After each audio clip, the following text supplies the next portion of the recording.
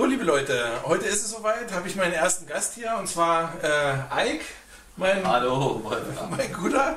Ähm, Ike ist Koch mit Leidenschaft. Und ähm, Ike hat zwei Schallplatten mitgebracht, die liegen schon hier auf den ähm, Plattentellern. Und wie schon angekündigt geht es darum, einmal Ikes erste Platte äh, zu präsentieren, die er sich von seinem eigenen Geld. Nee, nee, die mir meine liebe Tante geschenkt hat, muss ich sagen. Ah, okay, die dir deine liebe Tante geschenkt Ja, ja, hat. Und ähm, dann hat er ein ganzes Schmuckstück mitgebracht und zwar äh, die Platte, ähm, mit der er heute nochmal eine Plattensammlung anfangen würde. Da hören wir nachher auch nochmal gleich rein. Super, freue mich. So, ähm, kommen wir mal zu der ersten Platte.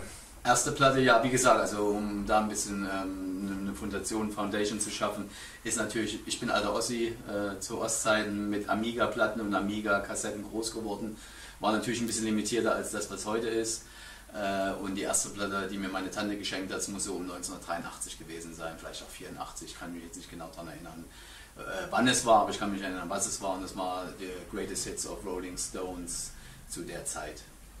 Und ich hatte auch das große Glück, dass ich Mick Jagger bekochen durfte 19 und, nee, 2002 in einem berühmten Hotel in London. In London war das. und ich habe eine schöne Autogrammkarte von ihm, wo drauf steht Chef IQ Rock. ähm, Und Okay. das ist natürlich von so einem Guru der, der Rockkunst, äh, Rockmusiker, das ist natürlich ein, ein super Ding. Deswegen Stones all the way. Okay, gut, dann hören wir mal rein äh, in die gute Platte. Also mein Lieblingstrack von dem Album, ich weiß nicht warum, wie gesagt, es war 83, 84, ich war 14, 13, 14, 15 Jahre so in dem, in dem Alter.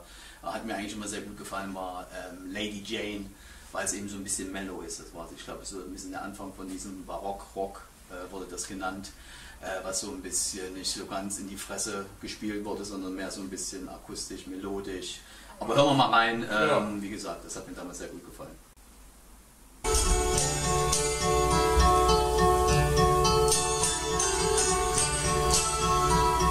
Bisschen besinnlicher.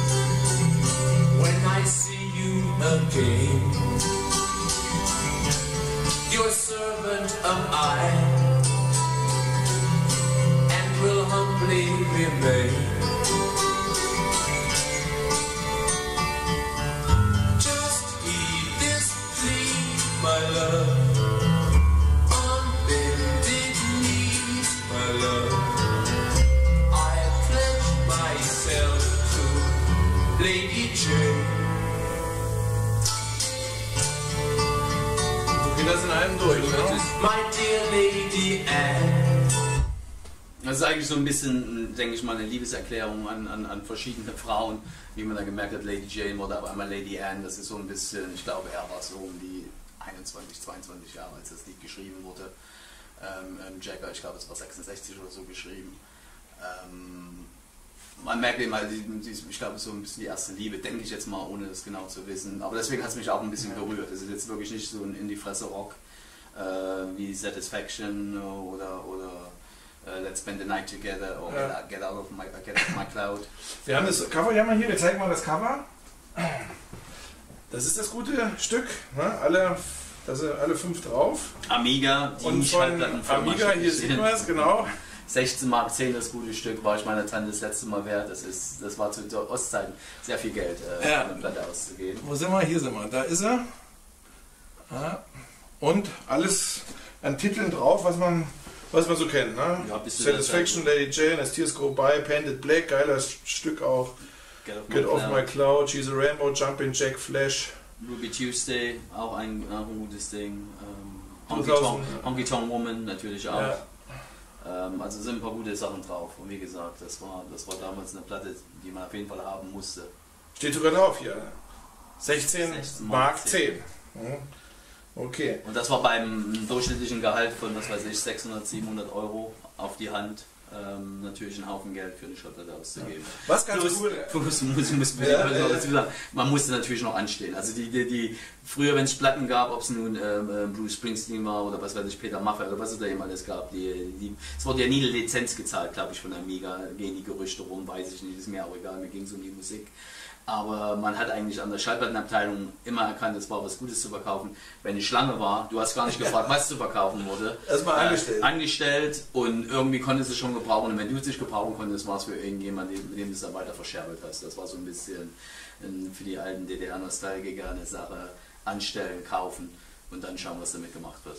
Was noch ganz interessant ist, weil ich mir auch so ein paar Amiga-Platten angeguckt habe, ähm, die, das Regime hat sich das äh, über die Plattenfirmen auch nicht nehmen lassen, solche West-Pop-Rock-Musik ein bisschen zu kommentieren hinten auf dem Cover. Das ist mal ganz interessant, wie versucht wurde, da trotz der Pressung, trotz dieser Westmusikpressung ein bisschen Einfluss zu nehmen auf die damalige Jugend, was die Musik anbetrifft. Das Ja. ist alles so ein bisschen, ja, ist nicht so, so ganz euphorisch. Ja, aber es war natürlich auch, wenn man, wenn man, wie gesagt, ich habe die Insight, es war natürlich auch so ein bisschen die Sachen, die auch selbstkritisch mit, mit ihrer Gesellschaft umgegangen sind. Die entweder sehr neutral waren, wo Ja. es um Liebe und, und, und nichts Politisches ging, oder die dann eben auch, ich sage jetzt mal, Bruce Springsteen sein Born in the USA, geht ja auch sehr selbstkritisch ähm, mit, mit, mit, der, mit den USA zu seiner Zeit um. Ja. Und das war natürlich dann auch wieder ein Instrument für das DDR-Regime, wo man sagen konnte, seht ihr, nicht alles ist toll in den USA, wenn sogar ein so großer Musiker wie Bruce Springsteen der Sachen hinterfragt und, und sich eine Meinung dazu bildet, dass es, dass, es, dass es besser laufen könnte. Okay, kommen wir jetzt mal zu dem, also wirklichen ähm, Sahnestückchen eigentlich, was du heute mitgebracht hast. Das ist eine Musik, äh, die ich äh, überhaupt eigentlich bis heute nicht auf dem Schirm hatte. Ich hatte zwar mal eine Platte äh, von dem Künstler ähm, unter meinen ganzen Platten, die ich damals hatte, aber eigentlich war der für mich nie so im Fokus. Und er ist mittlerweile gar nicht mehr unter uns. Ne? Ist nicht mehr unter uns. Er ist nicht mehr unter 10. uns. Januar äh, vor zwei Jahren, also 2016 von uns gegangen, ähm, kurz vor seinem oder kurz nach seinem 69. Geburtstag. Wer weiß, wer, um wen es geht? Es ist David Bowie. David Bowie, genau. Und ähm, hier geht es um die Platte, die du dir ja kaufen würdest, wenn du heute wieder anfangen würdest ne, mit einer Schallplattensammlung. Warum? Also erstmal, ähm, um, welche, um welches Album geht's? Was Es ist handelt sich um seine vorletzte Platte. Ähm, ähm, das gute Stück heißt The Next Day. Das Cover original darunter ist von seiner Hero-Platte. Ähm, und die Geschichte war dann eben dann auch so ein bisschen zurückzugehen und was er, was, was sein Lebenswerk, was er bisher alles gemacht hatte. Sie haben dann überlegt, was sie jetzt für einen Cover da machen können, haben gesagt, wir nehmen einfach das Hero-Ding, ähm, äh, was jeder kennt mit seiner Pose, mit der Hand hoch, was auch von vielen Künstlern nachgemacht wurde, unter anderem von Adele und, und, Und dann haben die einfach das Quadrat dann haben wir einfach das Quadrat aufgemacht, weil man dann eben auch diesen Bezug hatte.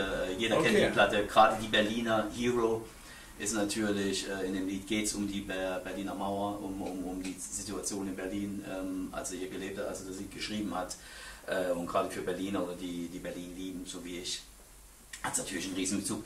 Ich muss ehrlich dazu sagen, es hätte jede Platte sein können von Ja. Bowie, ähm, weil es ist so ein bisschen meine Entschuldigung für mein schlechtes Gewissen, dass ich ihn über ein paar Jahre aus den Augen verloren habe. Weil als, als ich jung war, mit 13, 14, 1982, Let's Dance, ähm, ähm, jetzt habe ich das andere Lied vergessen. China Girl. China Girl, Wahrscheinlich, das waren. Sachen, wo, wo wir vom Fernseher bei Formel 1 hieß die Musiksendung früher oder aufgenommen haben mit Kassette und draufgedrückt und allem drum und dran.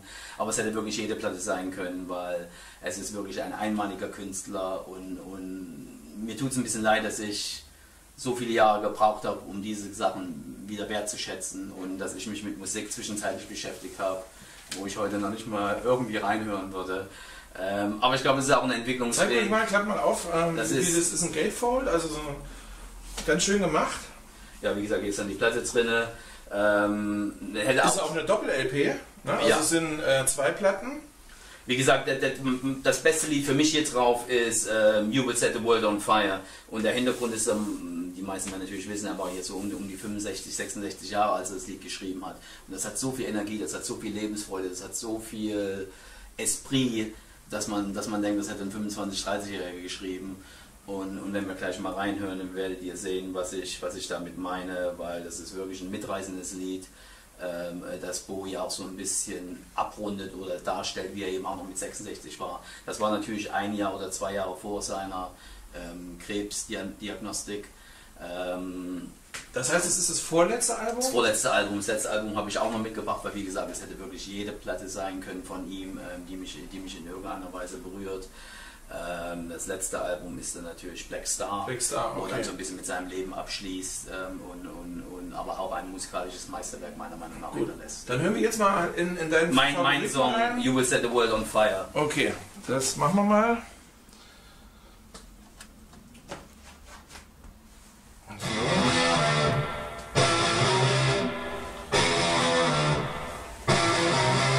Ist ein bisschen lauter.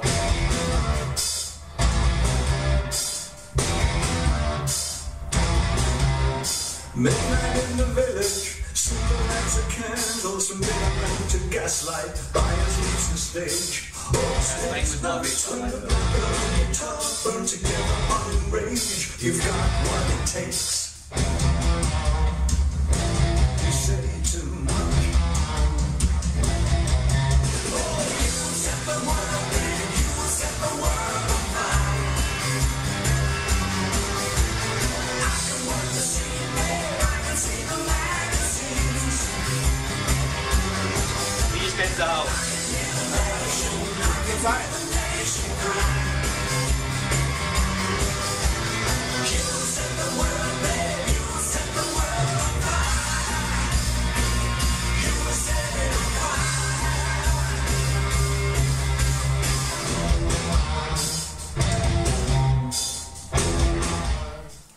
Geh mal hier raus. Also äh, auf jeden Fall, du hast recht, der, ähm, der hört sich überhaupt nicht an wie 66. Ja, also auch diese Energie, die darüber kommt, das ist auch, wenn, wenn man den Liedtext, wenn man, die meisten werden, alle können werden natürlich ein bisschen Englisch verstehen, also diese, du wirst die Welt ähm, in, in Flammen setzen, also diese Begeisterung, diese, du, du schaffst alles, was du kannst, ähm, ähm, ähm, kannst du schaffen, kannst du machen, ähm, du bist der Beste, du bist der Tollste, glaub nur an dich, das kommt in dem Text eben rüber und wenn das ein 66-Jähriger noch drauf hat, um Gottes Willen, dann kann ich mich ja mit meinen 48 Lenzen da nicht unbedingt beschweren, dass ich da mal einen, einen guten oder einen schlechten Tag habe. Also echt Hut ab vor diesem Song. Und hat natürlich super Musiker auf der, auf, auf, auf der, auf der Platte drauf. der ganzen Platte, ja. ähm, auch seine Reality-Tour, die er da hatte, wo er wahrscheinlich die besten Musiker ähm, und die beste Live-Performance ähm, geliefert hat.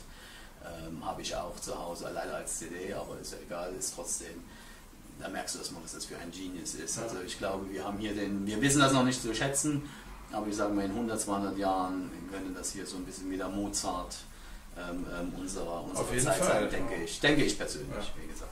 Okay, Ike, hat mich gefreut, dich hier zu haben mit deinen zwei Schallplatten, mit deiner ersten und der, ähm, der besten Einer der letzten, ja. äh, von Bowie. Ähm, das war's, liebe Leute, für heute. Nächste Woche äh, dann wieder mit einem anderen Gast, der äh, auch aus dem ehemaligen Osten kommt und ähm, wahrscheinlich eine Frau ist. Und die hat uns auch eine ganz nette Geschichte zu erzählen. Also macht's gut, bis dann. Ciao. Ciao.